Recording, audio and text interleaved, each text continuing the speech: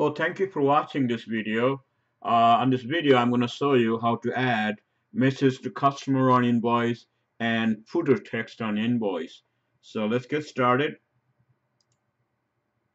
So I'm going to go to QuickBooks Online. Here's a QuickBooks Online. So just open uh, uh, any invoice. It's a blank invoice or or already uh, a recent invoice. So from here, as you can see here, here's a message displayed in here. You don't want to type it every time you create invoice.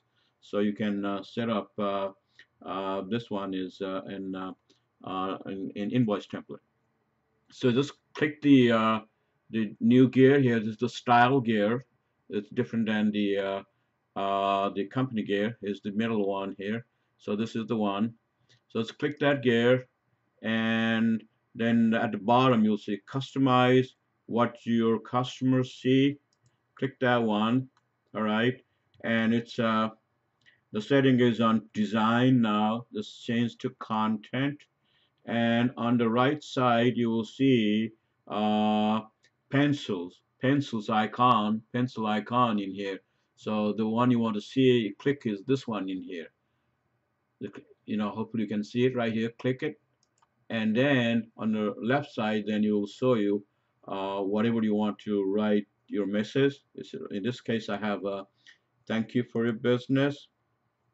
And the footer text you can write whatever you want uh, you know the message uh, whatever message you want to write down. Normally it would be like your company uh, ID or uh, follow us on Twitter NewQBO or uh, visit our website newqbo.com something like that alright so save and exit. Okay so now if I create a new invoice let's create one invoice in here.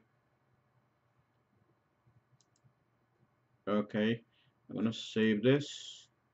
Alright as a printer preview. As you can see here right here here is the message. Thank you for your business. And at the bottom you'll see footer note like this one in here all right? So you have to create this footer note uh, if you use a different uh, uh, template.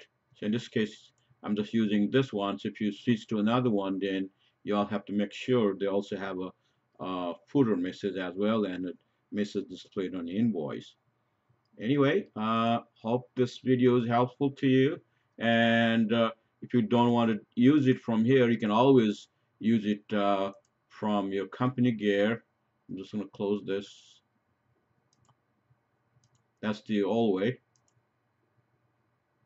see the upper right corner from the home page screen? Just click that one and the custom form styles it will take you to the same place actually. And in, in, in this demo file I have a whole bunch of templates. So just click your template edit one and it takes you to the same place again right here. So uh, it's much easier to do it directly from your uh, from your uh, uh, invoice sales form so anyway uh, thank you for watching and you can visit our website here's our homepage screen here newqbo.com newqbo.com you know we have all kinds of helpful tips and our, our website is up to date so visit our website or and subscribe uh, our YouTube channel. Thank you. Bye.